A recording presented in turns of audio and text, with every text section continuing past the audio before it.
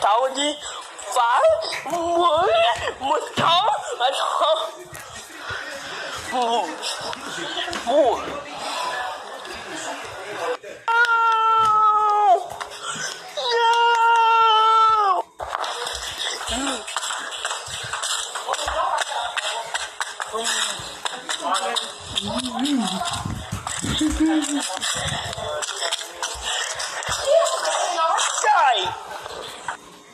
Die! oublie pas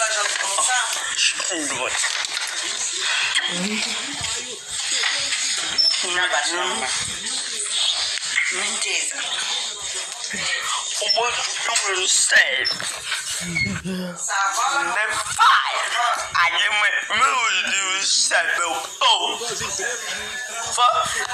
Oh, snowball.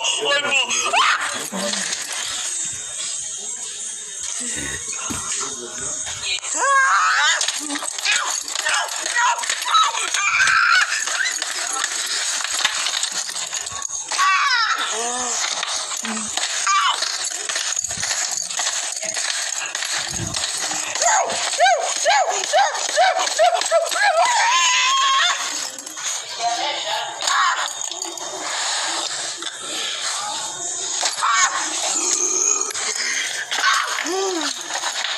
Like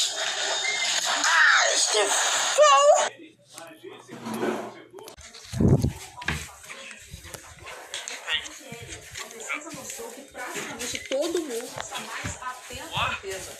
Rodrigo Bocardi, bom dia. A nossa vida agora é essa, né? Preocupação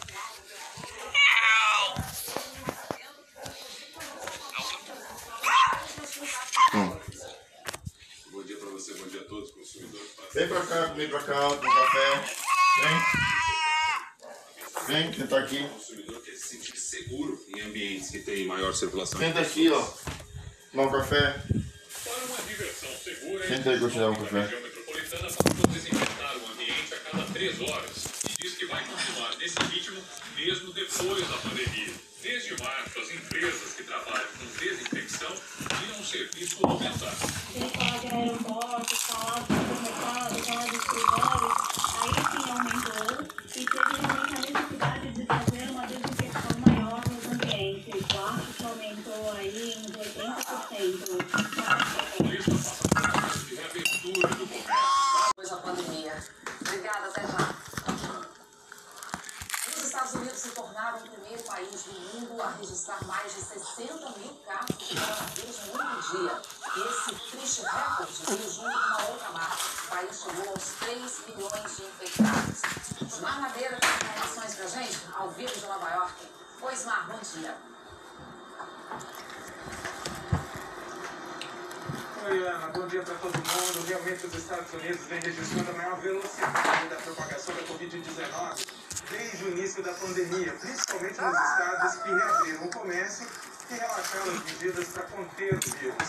A Geórgia virou o nono estado a passar de 100 mil infectados. Enfim, contas, 60 pessoas ficaram feridas, 101 manifestantes e policiais e 23 foram presos. O protesto começou de uma forma pacífica. Bora tentar, amor. Belgrado, tentar. Oi? registrou tentar acabar com de mortes isso. diárias por Covid-19 na Turquia. Olha essas paredão aqui. Por aqui, o presidente Jair Bolsonaro sancionou e projetos né? medidas para proteger povos indígenas durante a pandemia. É muito tempo por fora cai a água, sempre mesmo rebocando vai ficar verde aí. Tempo.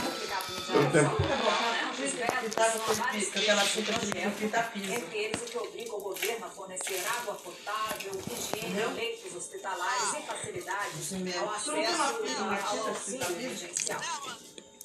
A nova lei determina que os povos indígenas, as comunidades quilombolas e demais povos tradicionais sejam considerados grupos em situação de extrema vulnerabilidade e, por isso, de alto risco para emergências de saúde pública. Bolsonaro vetou o trecho que obrigava o governo a fornecer às próprias indígenas acesso à água potável e distribuição gratuita de materiais Eu vou botar os 15 milhões atrás do, do outro. Vou tirar só as duas prateleiras de lá da frente.